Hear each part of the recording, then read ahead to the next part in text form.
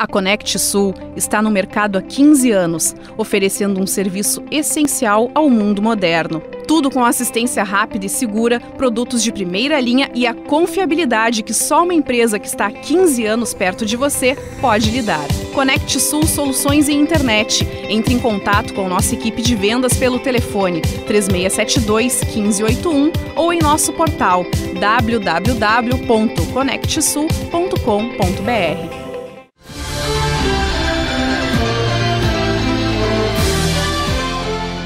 A principal via de acesso da cidade apresenta sérios problemas de conservação.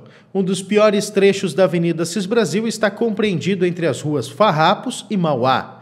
O trecho de três quadras acumula tentativas de conserto e novos buracos. Mas o problema não cessa por aí e segue por outras ruas com ou sem calçamento. Assim como a Avenida Cis Brasil, a Rua Borges de Medeiros, que liga o centro da cidade aos bairros Pontal e Pinveste, também tem sérios problemas e os buracos são gigantes.